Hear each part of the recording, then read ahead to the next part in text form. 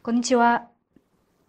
チベットテレビの大相です。チベット This Week では、チベットやダレイラ魔法、そして中央チベット政権に関する1週間のニュースをお送りします。それではまずヘッドラインを見ていきましょ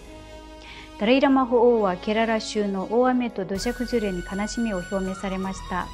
ベンバシン主席大臣はウィシコンシン、ベニソダ、シカゴのチベット人コミュニティに向けて演説しました。ケンポスナムテンベル議長は東京で日本のチベット国会議員連盟と面会しました。ギャリルマ大臣はチベット舞台芸術研究所の第2回異文化体験夏季コースの終了式に出席しました。チベット政策研究所はラギャシリク農林教育機関の強制閉鎖、原因と影響に関するパネルディスカッションを開催しました。パリオリンピック開会式にチベット代表が出席しました。ジュネーブのチベット事務所国連人権擁護担当官がスイスの中道イニシアチブ創立記念式典に出席しました。シドニーチベット協会は中央チベット政権の予算基金に総額9420オーストラリアドルを寄付しました。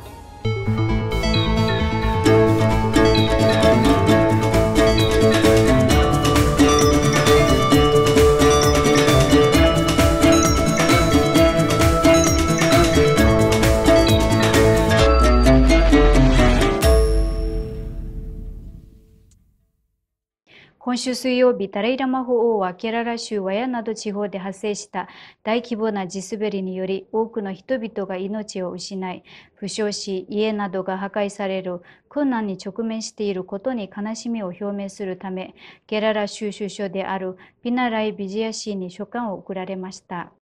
法王は愛する家族を失った人々やこの災害の影響を受けたすべての人々に愛との意を表し祈りを捧げました。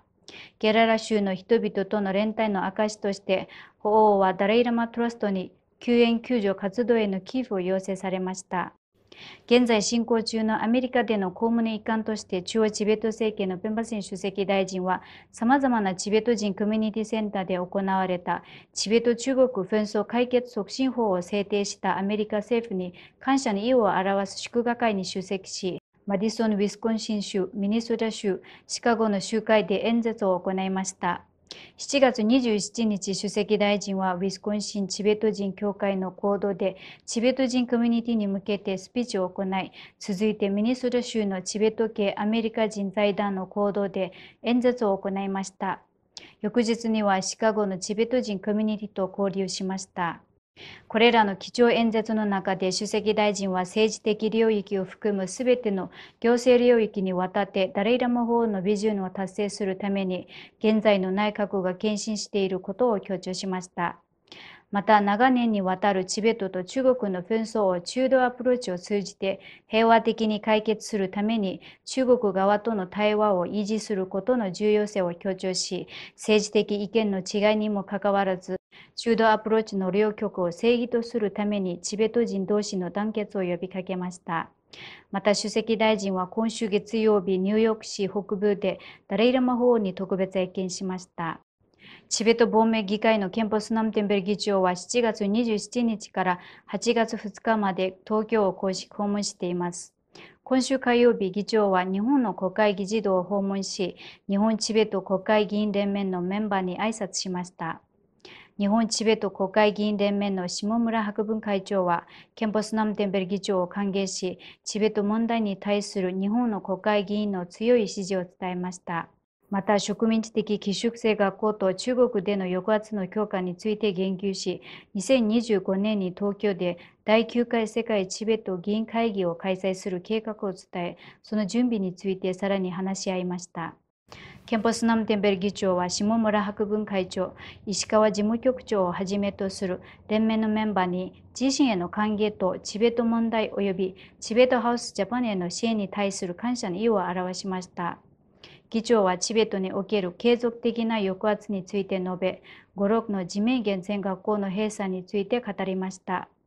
また、ダレイラマ法が亡命先でのどのように尽力し、民主的統治を導入したかを伝えました。ダレイダマ法日本代表部事務所のアリアツワンギャブ博士は、バイデン大統領が署名し、7月12日に成立したアメリカ議会の法案、チベット中国紛争解決促進法について最新情報を伝えました。また7月7日に東京大学で開催された中国の植民地的寄宿制学校に関するセミナーで採択された決議文を読み上げました。今週水曜日、チベット舞台芸術研究所で第2回異文化体験コースの修了式が行われ、ギャリルマ大臣が主賓として式典に花を添えました。出席者にはガンデンポランのロプサンジンバ長官や宗教文化省のドゥンドルドジェ長官が特別ゲストとして名を連ねました。チベット舞台芸術研究所のディレクターは挨拶の中で、プログラムの成功は参加者の両親と舞台芸術団の講師陣の取り組みによるものだと述べました。学生たちは一連の音楽と舞踊のパフォーマンスを披露し、観客から大きな火災を浴びました。ゲリトマ大臣はチベット文化への横暴な中国化政策に断固反対する姿勢を示しながら演説を行い、ダレイラマ法の言葉に従い、亡命チベット人がチベット文化を保護し、その遺産を受け継いでいくことが1959年に法がインドに来て数ヶ月後に設立されたチベット舞台芸術研究所の主要な使命であると語りました。このコースは7月1日から31日まで開催され、アメリカ、スイス、ドイツから30名の学生が参加しました。今週月曜日、中央チベット政権のチベット政策研究所は、ラギアシリグ農林教育研究所の強制閉鎖、原因と影響と題するパネルディスカッションを開催しました。このイベントにはチベット亡命議会議員でチベットタイムズ編集長のペマツォ氏、中央チベット政権チベット政策研究所のダワツリン所長、チベットワッチ調査委員でシェリグ農林教育研究所の元生徒であるシデダワ氏など著名なパネリストが参加しました。ペマソ議員はラギアシェリンのリンがその教育活動において直面した課題と制約を強調しました。1994年から2021年の間に2200人以上の学生がこの教育研究所を卒業し、253人が元職員でした。2024年の今年には120人以上の学生が同研究業を卒業しました。ラギアシリンの林教育学院のモットセットであるシデダワ氏は学生時代の経験や思い出を語り、人命元居住は社会的地位の高い裕福な人物ではなかったが、遊牧民出身の謙虚な僧侶であり、多大な努力とチベット語への献身によって大学の設立を実現したのだと述べました。情報国際関係省のスポークスマン兼事務次官である天神歴史氏は、チベットの学校を閉鎖し、寄宿学校に置き換えるという中国政府の政策に強い反対を示しながら、これらの措置はチベットの文化、宗教、人々を虐待化させることを目的としていると主張しました。チベット政策研究所のダワツリンディレクターは、ラギャシリックの林学校の閉鎖を踏まえ、チベット語教育の将来の展望について述べました。ダワ氏はチベットの前向きな未来を形作るためには、現状を理解し、それに対処することが極めて重要であると強調しました。パネルディスカッションには3人のチベット亡命議会議員のほか、秘書官の天神歴史へと天神ペンマンも参加し、様々なチベット NGO やメディアの代表者が参加し、洞察に満ちた議論を交わしました。隣人玄関代表はコーディネーターのトゥッテンツリン氏、チベットコミュニティ代表のペンマリンチン氏、前代表の天神ペンパ氏からなるチベット代表団を率いて、光の都の中心を流れるセーヌ川沿いのパリオリンピック開会式に招待客として出席しました。チベットは他の国々と並んでオリンピックに代表になっていないにもかかわらず、この代表団の存在はチベットを代表し、現在進行中のチベットの状況に対する認識を高め、提唱する上で極めて重要でした。フランスはチベット支援団体の数の最も多い国の一つであり、またヨーロッパで最大のチベット人ディアスポラの本拠地でもあります。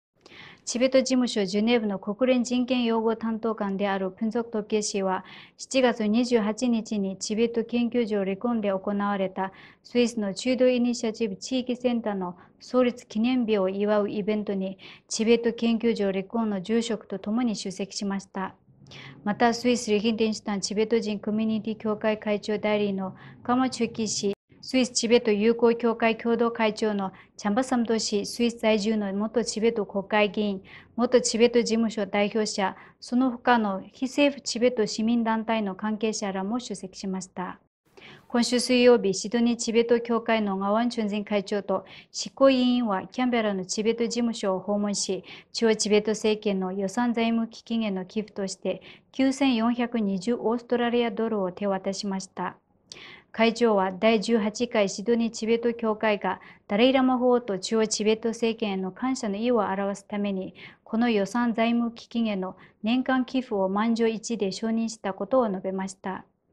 これで今週のニュースは以上です。チベットテレビをご覧いただきありがとうございます。